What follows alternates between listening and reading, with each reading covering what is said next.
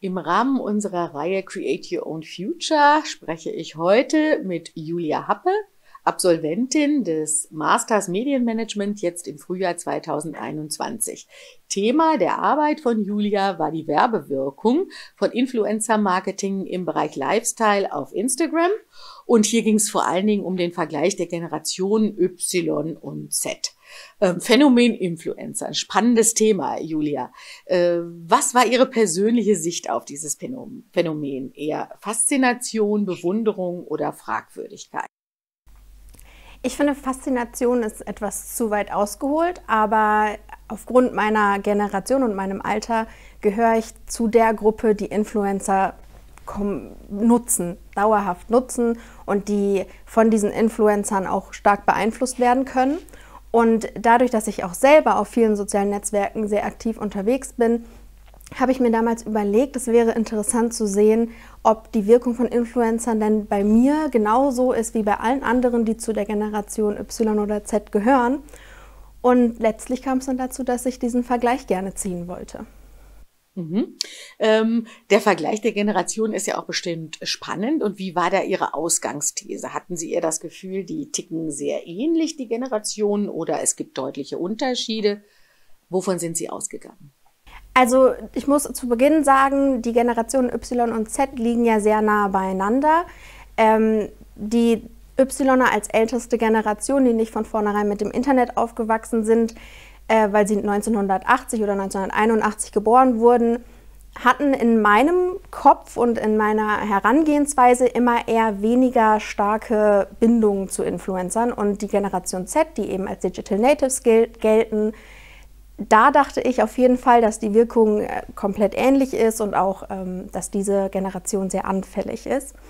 Letzten Endes hat sich das tatsächlich äh, herausgestellt, dass die Unterschiede eigentlich nicht existent sind und dass sich diese Generationen sehr ähneln.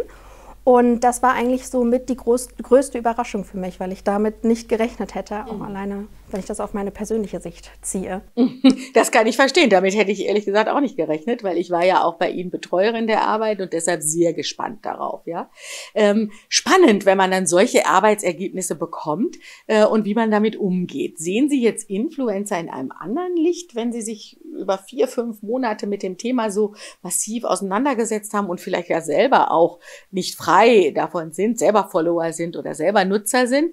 Äh, Gibt es da jetzt eine Veränderung in der Einstellung dazu oder, oder eher gar nicht? Sehr. Also erstaunlicherweise sehr. Ähm, natürlich, wenn man sich fünf Monate mit einem Thema beschäftigt, fängt man an, einfach kritischer auf etwas zu blicken, als man es vielleicht davor getan hat. Und äh, ich habe tatsächlich angefangen, Influencern zu entfolgen, weil ich gedacht habe, das ist eigentlich nicht, was mich interessiert. Und ich glaube denen das auch nicht. Und ähm, nach der wissenschaftlichen Definition gehöre ich auch noch in die ältere Generation Y und kenne dementsprechend halt auch noch andere Stars, wie nicht zum Beispiel Dagi B, sondern eine Verona Poth. Und ähm, habe gemerkt, dass es irgendwie alles mehr Schein als Sein in meinen Augen. Okay, und dieses mehr Schein als Sein war auch, glaube ich, eins der zentralen Arbeitsergebnisse, wenn ich mich noch richtig erinnere. Sie sind ja zu dem Schluss gekommen, dass letztlich gar nicht so sehr die Inhalte äh, das Interessante sind, was die Leute zum Follower werden lässt, sondern das Thema Sympathie eine ganz große Rolle spielt. Vielleicht gehen Sie da noch mal kurz drauf ein. Richtig, also äh, innerhalb der Arbeit dachte ich eigentlich, dass die Followeranzahl zum Beispiel für den, vom Influencer das Ausschlaggebende ist. Und je mehr Follower, desto glaubwürdiger wirkt er dann am Ende. Und alles, was er bewirbt mit einer Million Followern, ist am Ende toll.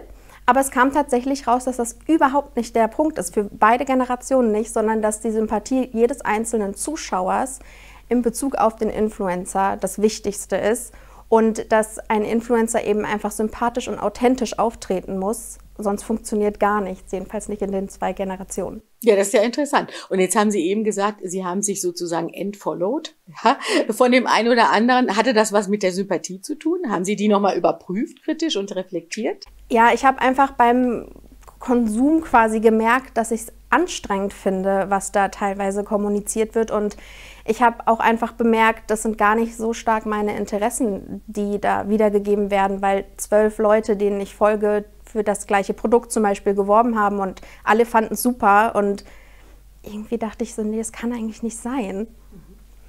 Das ist ja schön, dass man dann eben auch kritischer wird und dass die Auseinandersetzung mit so einer Arbeit eben auch eine Einstellungsveränderung möglicherweise nach sich ziehen kann. Wenn Sie jetzt zurückschauen auf Ihr Studium in der letzten Zeit, vor allen Dingen natürlich auch auf Ihr Studium hier bei uns im Vorfeld, waren Sie anders als zu Beginn des Studiums? Hat sich etwas verändert im Laufe des Studiums? Konnten wir positiv vielleicht Akzente setzen, Zeichen setzen? Das würde uns natürlich interessieren. Ja, verändert würde ich nicht unbedingt sagen. Ähm, dadurch, dass es ja mein Zweitstudium ist, habe ich mich natürlich auch versucht, so an etwas zu orientieren im Master, was mich schon von vornherein im Bachelor gecatcht hat. Und das war Marketing und ist es auch bis heute noch. Was aber positiv war, ist, dass dieses Studium meine Meinung einfach bestärkt hat und dass ich äh, dadurch wirklich jetzt am Ende gemerkt habe, ich gehöre ins Marketing und ich, ich werde da drin glücklich. Und ähm, dadurch, dass wir hier an der MDH viele sehr Theo äh, praktische Beispiele hatten und nicht so theoretische Beispiele eben, habe ich gemerkt, das ist was, was mir liegt und das ist so das Positivste, was ich mitnehme. Ach, das ist ja schön. Das freut uns natürlich sehr, wenn da einige positive Akzente auch bei rumkommen. Ähm, jetzt haben Sie eben schon ähm, genannt, dass ähm, Sie im Marketing bleiben wollen, dass Marketing Sie ganz besonders interessiert. Und gerade in diesem Bereich, in der Kreativwirtschaft, ähm, lernt man ja auch sehr häufig, dass wir sehr flexibel ähm, mit Veränderungen, gerade auch Veränderungen in Bezug auf die Konsumenten umgehen müssen.